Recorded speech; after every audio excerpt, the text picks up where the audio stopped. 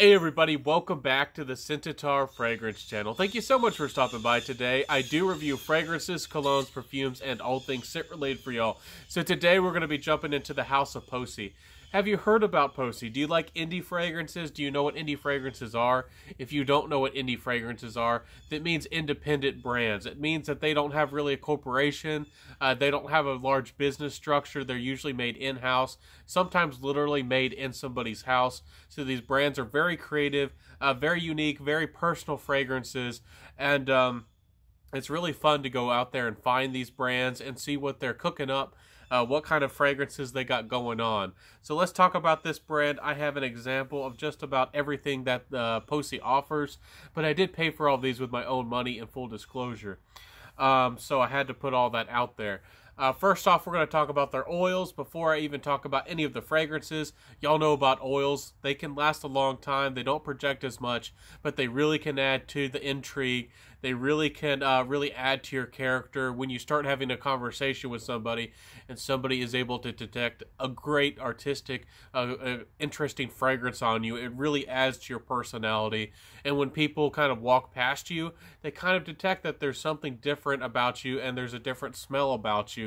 The you know fragrance oils can be really great, and they're amazing for layering as well. So of course, there's different fragrances for everybody.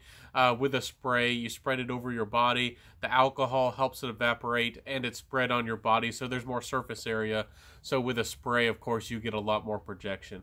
Anyways, let's talk about these oils. Uh, Poesie Whisper Your Bitter Things is probably my favorite from the whole brand and the first, the whole collection as a whole. Um, I really do like this brand. Um, this one has a lot of coffee to it has some a lot of tobacco, um, some vanilla. It has a lot of interesting herbaceous nuances. Uh, really complex, really well blended stuff. It smells beautiful. To me, this is a, a great alternative, a distant cousin to something like Tobacco Vanille. Um, again, y'all know that I'm not the biggest fan of Tobacco Vanille, and I don't want to rag or put down on it. But if you want something for a lot less money, uh, something that I think that smells better composed, more artistic, more creative, uh, Whisper Your Bitter Things is a dream come true. I always wanted to enjoy something like that, something that has had a lot of dark nuances, a lot of complexity with some spices, and uh, of course the uh, the coffee. Uh, but by golly, this is a really well made fragrance. One of my, one of the favorites, really my favorite out of the whole collection. It has a definitely a rebellious side to it. It has a story and uh, definitely look into all the stories inside this brand. If y'all don't know, Poesie means a collection or just a group of uh, poems. Uh, sometimes it's used to tell a story like a collection of uh, ongoing poems, and uh, I think this brand is perfectly named because each fragrance is a poem, each fragrance tells a story. Uh, so let's jump to the next one. The next one is Shy Ghost. This is from their Halloween collection. Yes, they have collections based on seasons and holidays. Now, if you haven't seen this fragrance or heard about it, it is more of a simple vanillic fragrance, um, but it has a lot of sour nuances. It smells a lot like Guaiac wood or Palo Santo to my nose. And interesting, uh, not overtly sweet, not overtly simple vanilla. It's uh, quite. It can seem quite simple. It can seem like there's not a lot going on in this fragrance, but there is. There's a lot going into this fragrance underneath uh, underneath the uh, canvas and the and the body of the fragrance, really supporting this vanilla and making it quite uh, innocent but uh, charming vanilla. So this could be worn every day. I think that this could be easily layered, but it has a lot of character to it. I've really grown to love Shy Ghost. Um, I don't like purely vanilla fragrances as a guy. Um, I don't like to. I don't feel like I'm a macho guy, but sometimes, you know, I like more masculine fragrances and um, Shy Ghost is still wearable by me, but it uh, is about the most uh, wearable uh, vanilla, just purely kind of vanilla fragrance that I've ever come across. But it's a charmer. It's easy to wear. Um, a great vanilla fragrance, but it's just not as sweet. It's not a sweet bomb like some vanillas are. Um, the next one is called Wicked Ghost. Now, this is the other Halloween collection fragrance I have.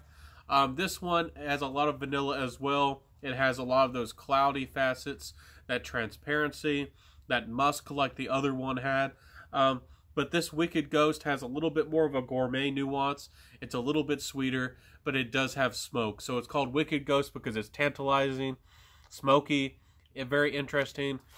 But again, this is one of the more simple of the of the fragrances from the house. The Shy Ghost and the Wicked Ghost are some of the most easy to understand, some of the most easy ones to wear, but they're quite nice and I really do enjoy them. Wicked Ghost also can be perfectly layered, just like Shy Ghost with other fragrances. Um, the next one is called Wuthering Heights. Now, if you haven't heard about this brand, uh, this this fragrance from this brand, you got to try this one out. This one has a lot of basil and uh, it's, it's, an apple fragrance, but this is kind of like an angry orchard. Um, this is kind of like a an apple uh, gone bad, kind gone wild. Um, this is not like any other apple fragrance that you've smelled. Honestly, I've always wanted a good apple fragrance. Um, everybody knows about Hugo Boss bottled. Their apple cinnamon fragrances are classy and great, easy to wear. But I've always wanted an apple fragrance that was a little bit more complex, a little bit more daring, had a little bit more of an edge, told a better story, lasted longer. Um, this has it all. This is a winner of a fragrance. Uh, Wuthering Heights is, uh, again, perfectly unisex.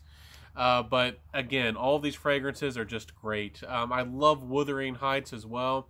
Check it out if you've been wanting a great apple fragrance with the herbaceous nuances, uh, with with that signature touch that Poesie really does very well. Um, the next one is Eggnog Noel. Now, if you haven't checked this one out, I really do encourage y'all to. This one's great. I really do enjoy this fragrance. Um, this is one of the gifts, and this does capture the smell of eggnog quite well. It smells milky and custardy and full bodied, and um, very well done fragrance. I've never encountered a fragrance that really captured eggnog so well. Um, Noel, of course, y'all know that means like a song. Um, and there's a lot. There's a story even behind all these words. Look into the word of Noel. Look into the story of Noel. What does the word mean? Where does it come from? Uh, let me grab the last one for you. But again, eggnog Noel is perfect for a gift. I think that that one is perhaps a lady would like eggnog Noel a lot more. It's a little bit more sweet, a little bit more vanillic, and um, it's, it's just a really playful fragrance, easy to wear for a lady, and that one definitely is a gift. The next one is Madar. This one is one of the ones I didn't buy initially, but I had to go back and I had to buy this one. Um, and I'm looking forward to Poesie's creations in the future. This one swept me off my feet. This one blew me away. Uh, this one is called Madar. Now, this one has rice, rice pudding, uh, beautiful milky accords. Um, it does not exactly have a custardy quality, but if you've ever had tapioca, if you've ever had really, uh, really, really high creamy rice pudding, with the the small amount of cinnamon and spices this one is the more most uh, gourmet out of the collection. It does use saffron in a really nice way and if saffron is used uh, well or artistically in a fragrance in the right way uh, it's it, it gets me just almost every time. I love saffron in a fragrance. Uh, Poesie Madar is a really nice fragrance and um, if you're a gourmet lover um, you know do yourself a favor and get this fragrance. I don't think you'd be disappointed. It's very well done. Uh, Madar is a great creation. One of my favorite gourmet, most one of my most favorite gourmet fragrances I've ever tried out of a brand. Um, so let's talk about some of the other things that Poesie offers, and again, some of these are Christmas gifts. Um, the they offer these uh, this body whip. This isn't the same as a body lotion. Uh, a lotion is really meant to uh, like protect the skin and uh, you know add um, you know hydration. This uh, body whip more just adds hydration and scent. It doesn't really add a layer or really uh, protect the skin particularly. Um, these fragrances really do go into the skin quite quickly. There's no residue, and uh, for some people that can actually be a big plus. I didn't know that body whips like this really existed, but I've never really been into lotion because I don't like the greasy residue. I don't like the weight of it on my skin. And um, honestly, these body whips are a really pleasant thing. The scent in them is, is quite subtle. It's not the loudest scent ever, but it really does add a little bit of a very nice kind of like skin uh, scent, very very close to the skin, not overbearing you might look at this brand and you might say that these this this uh, this brand isn't very expensive, uh, especially with something like this with their body whip. but you're getting good quality, um, no doubt about it. And the the fragrance and the scent isn't overtly loud, and it doesn't smell synthetic to my nose at all. Um, so don't be afraid of anything like this. Um, again, this is a gift. This is Eggnog Noel. Is uh, again a very nice uh, take on a kind of a vanilla fragrance. Gorgeous stuff. The weather's picking up, so maybe I need to hurry up this video. Um, anyways, the next one, I got a little candle. These are about seven bucks. Very charming, very nice, uh, beautiful little uh, candles here. This one's about seven bucks. This one's called Pemberley Park. Um, this one's really nice. It's kind of nostalgic. It smells like a park uh, with maybe some old fruit. Uh, you walk past a trash can in the best best possible way. Um, you walk past, you know, uh, a park that's used with all those scents that can be in a park. Um, and of course, there's like an there's an orchard. Of course, they got to throw in some really nice, uh, authentic, like dried fruits, like fruit that uh, started to go bad on the ground. It's a little bit dry. It has all these interesting nuances. It reminds me of newspaper and uh, caramel corn in a really odd way. Um, so this fragrance can be again, all of these can be nostalgic. All these fragrances and all these things tell a story. The next one I have to share with y'all is one of the things they offer is uh, you know body mist or just uh, room mist. Now these are very affordable uh, for what you're getting. This is four ounces, and these don't cost very much at all. Um, the scent again is quite light. Um, it can seem uh, quite transparent. It can kind of has a, um, I think it's called hydrosol feel. And if you've never looked into how they extract uh, extract essential oils, this does have a hydrosol type type of feel to it, and I actually kind of like that. Um, so it's very light, it's transparent, it adds a little bit of this aqua watery feel. But this one I chose is called Beth, and um, trust me, guys and gals, this one is a very playful, feminine uh, fragrance. I haven't sprayed it yet, but Beth and uh, Eggnog Noel are about the most feminine and the girly of the collection that I've tried, and some of their best. Uh, this uh, is very nice for when you want to go to sleep um, and you want something that's not going to be overbearing. It's going to add to your experience, uh, you know, your rest, you know, maybe your meditation. Maybe you want to just refreshen your room up with a very nice uh, smell that's not overbearing and has quite a nice, uh, almost natural feel to the fragrance. Um, I, I think that those are a great option.